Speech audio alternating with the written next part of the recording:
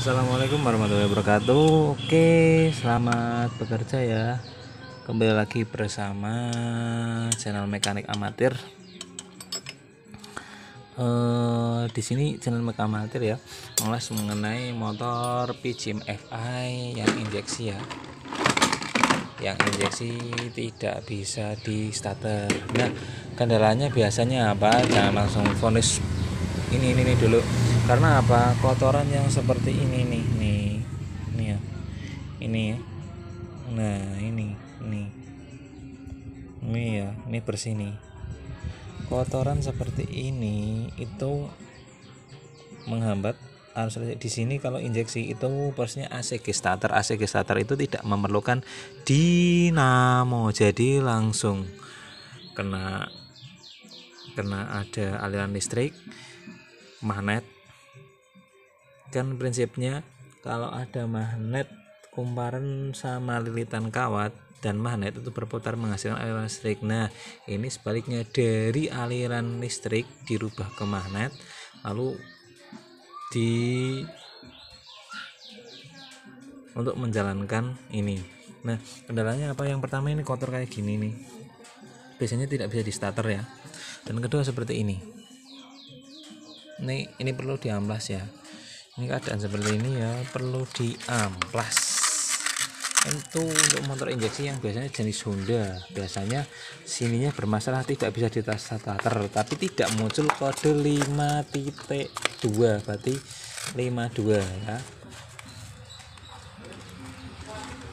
Ya kode 52 berarti diinjeksi di atas kode mil sana itu 5 5 dan 2 ya oke jumlah kedipannya itu sebelum itu kita proses bongkar dulu ya ini ya. Nih. Karena kotor seperti ini menghambat arus listrik sehingga tidak bisa memutar magnet ya. Sehingga mesin tidak berputar. Nah itu.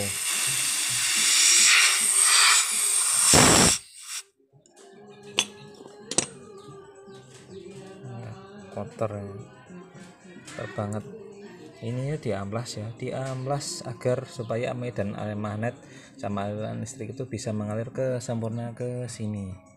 Ke rotor atau spool. Ya contoh ini.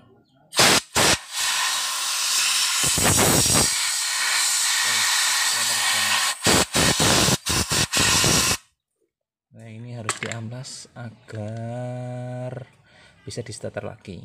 Oke tidak muncul kode 5.2 tapi kita bongkar ternyata parah banget ini kotor banget ada debunya.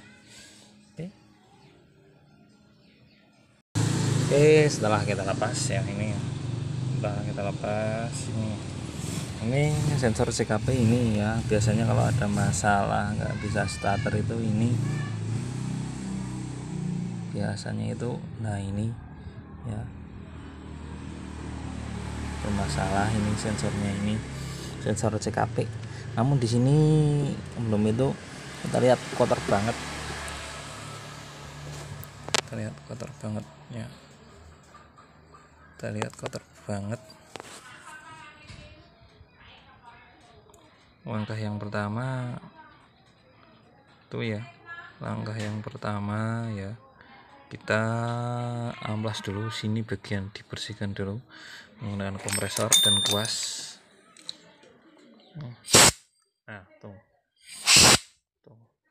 oke kita bersihkan dulu ya. Ini dibersihkan dengan cara disemprot. Nanti ininya di juga bersihkan dan ini juga diamplas biar kelihatan kuningannya supaya uh, aliran listrik dan magnet ya bisa menghasilkan putaran untuk putaran mesin. Nah, kotor oke tidak muncul kode 52 tapi nol di sini udah rusak udah kotor ya. Udah udah ini ya. Udah karatan. Nah kita lepas saja. Hmm, bersihin aja dulu. Kalau muncul kode 52 berarti sensor ACG starternya rusak. Ini sensor CKP hmm. ganti sensor ininya sensor CKP sensor CKP biasanya kode 52 oke bersihkan dulu dan amplas ya prosesnya lama amplas satu persatu agar semuanya bersih. Terkendali ya. Oke. Oke setelah selesai ya oke setelah selesai ini udah dipasang kembali. Ya ini udah dipasang kembali. Kita coba. Ini ya.